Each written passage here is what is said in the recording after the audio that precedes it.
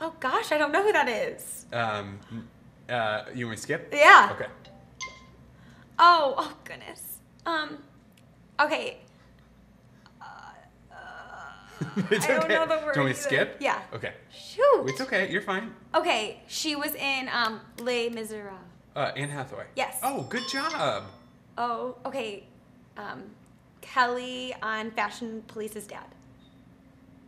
Kelly last name. Oh, Ozzy Osbourne. Yes. Oh, yeah. I don't know how I got Um. that. Oh my gosh. It, um, like the lead member of NSYNC. Justin Timberlake. Yeah.